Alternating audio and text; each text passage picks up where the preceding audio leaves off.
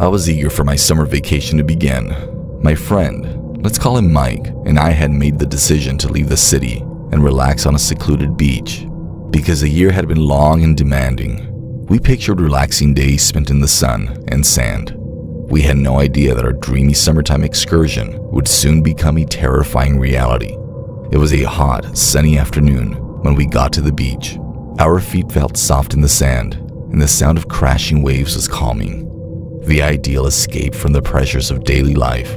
It seemed like paradise. In a hurry to enjoy the peace that awaited us, we quickly set up camp close to the water. The initial days fulfilled all of our expectations. Swimming, tanning, and drinking icy cold beers were some of our pastimes. With hardly a person in sight, the beach seemed like our own private paradise. But as the days went by, we started to notice a strange thing wind-borne faint whispers.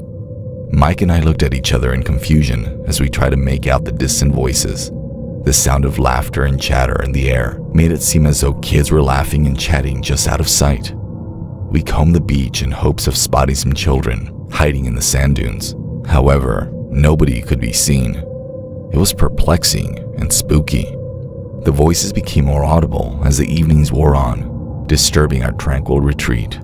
Even as we were laying in our sleeping bags, we could hear their squeals and giddiness. We could not see a single child anywhere, but the sounds appeared to come from various directions, as if a group of kids were scattered all around us. It gave us chills.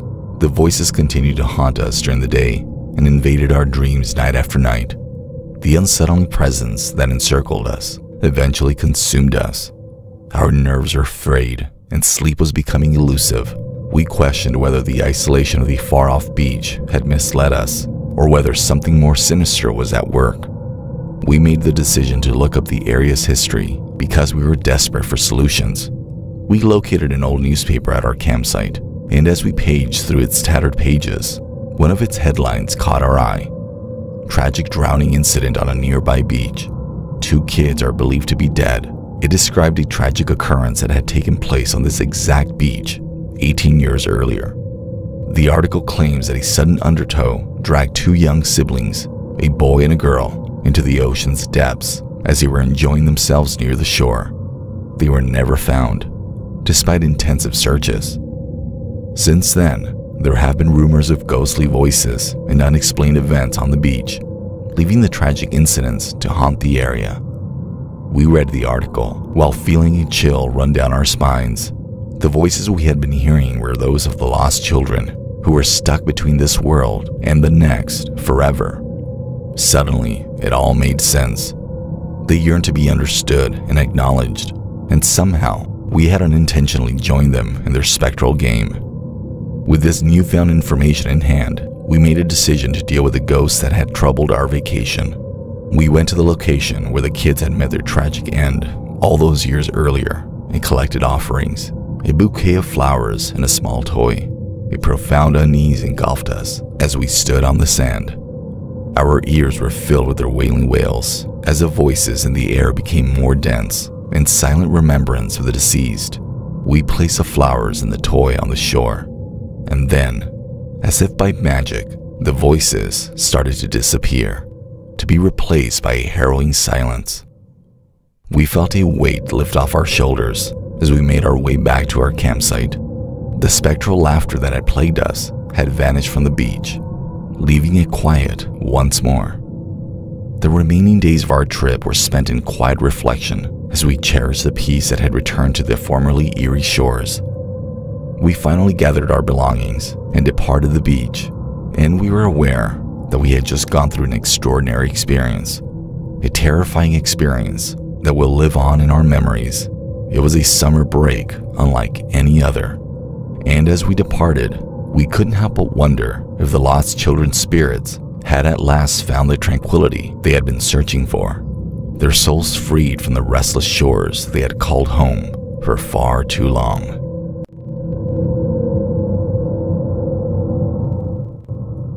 The summer of my dreams was here. The promise of a much needed break from the daily grind was accompanied by the scorching sun, the cooling lake, and these three natural elements. I had reserved a comfortable cabin by the glistening lake that was tucked away in the woods.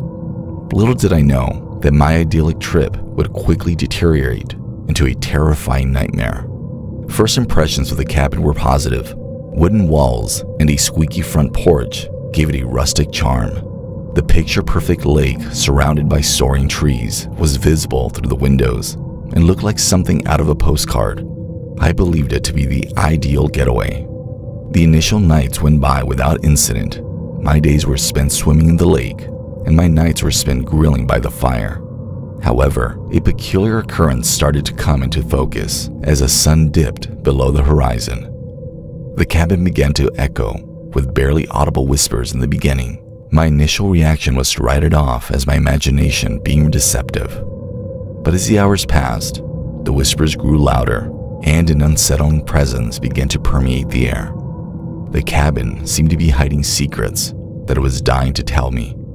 Each morning at 3:24, the whispers would start and continued for 5 tense minutes until 3:29 a.m. I made an effort to explain the phenomenon by attributing it to wind or some natural acoustics, but I had a gut feeling that something evil was going on.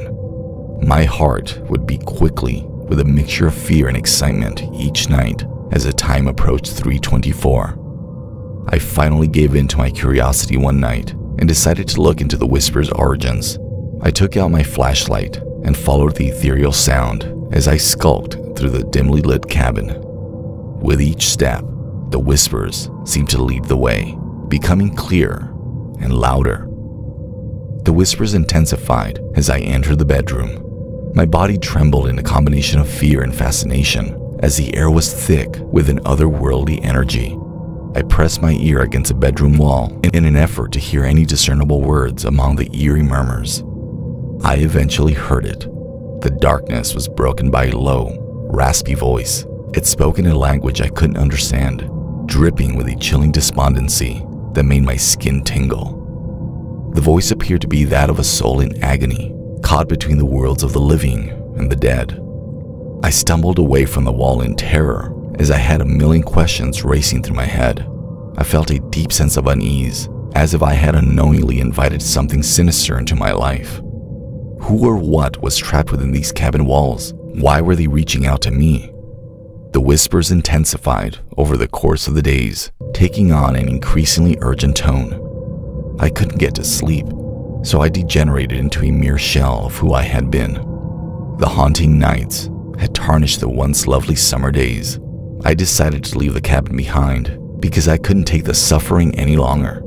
The lake, the cabin, and the enigmatic whispers that had consumed my summer vacation were all that I had left behind as I packed up and left in my car. However, the nightmares followed me. I used to awaken in a cold sweat, even in the comfort of my own home. The echoes of those ominous whispers still present in my head. My very being seemed to have been infused with the cabin's presence, which clung to me and wouldn't let go. I looked into the past of the cabin in the lake in search of explanations. At that point, I learned a tragic story. That very cabin had previously housed a family in the past before an unspeakable tragedy happened. Their lives had been happy. All the people who lived in the cabin perished in a fire that broke out in the middle of the night. The echoes of the tortured spirits imprisoned within these charred remains of the cabin were revealed to be the whispers. In the darkness, they cried out for relief as they looked for solace. Guilt-ridden, I made a commitment to assist in bringing peace to these troubled souls. With my holy water and sage at the ready, I went back to the cabin. I conducted rituals and recited prayers in an effort to rid the area of its uneasy occupants. I experienced an influx of energy as the whispers refilled the air. The spirits spoke back, becoming more subdued and thankful in their tones. They seemed to have found comfort in my presence, knowing that their situation had been noticed. The whispers eventually stopped in a final exhalation. As if the spirit's burden had been lifted, the cabin descended into a profound silence. I was confident that I had done my part to aid these souls search for peace. I still have nightmares about that awful summer. My dreams are still filled with the whispers, which serve as a reminder of the sinister secrets that are kept in that remote cabin. It taught me that some mysteries are better left unsolved and left me forever changed by the experience.